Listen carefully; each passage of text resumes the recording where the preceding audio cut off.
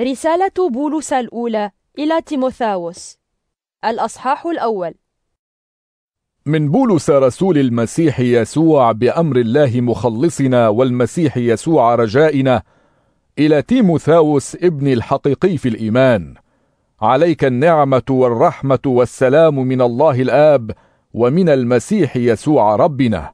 طلبت منك وأنا ذاهب إلى مكدونية أن تبقى في أفسس لتوصي بعض الناس أن لا يعلموا تعاليم تخالف تعاليمنا ولا يصغوا إلى الخرافات وذكر الأنساب التي لا نهاية لها فهذا يثير المجادلات ولا يخدم تدبير الله المبني على الإيمان.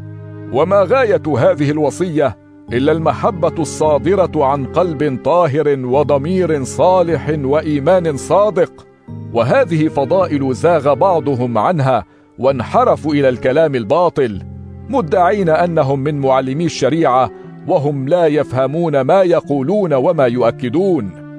ونحن نعلم أن الشريعة صالحة إذا اقتصر العمل بها على أنها شريعة لأننا نعرف أن الشريعة ما هي للأبرار بل للعصاة والمتمردين للفجار والخاطئين للمدنسين والمستبيحين لقاتلي آبائهم وأمهاتهم لسفكي الدماء للزناة والمبتلين بالشذوذ الجنسي لتجار الرقيق والكذابين والذين يحلفون باطلا ولكل من يخالف التعليم الصحيح الذي يوافق البشارة التي اؤتمنت عليها.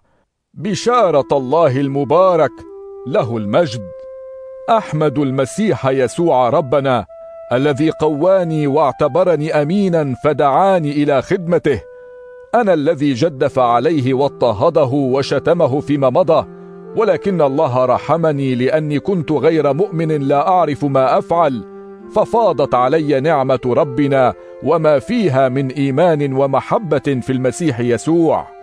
هذا القول صادق ويستحق القبول التام وهو أن المسيح يسوع جاء إلى العالم ليخلص الخاطئين وأنا أولهم.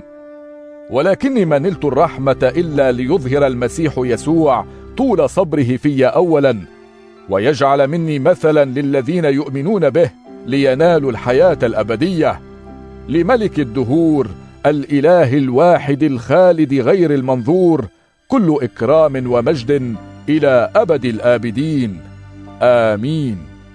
أستودعك يا تيموثاوس ابني هذه الوصية وفقا للنبوات التي قيلت فيك من قبل فتستلهمها لتجاهد خير جهاد. بالإيمان والضمير السليم الذي رفضه بعضهم فانكسرت سفينة إيمانهم.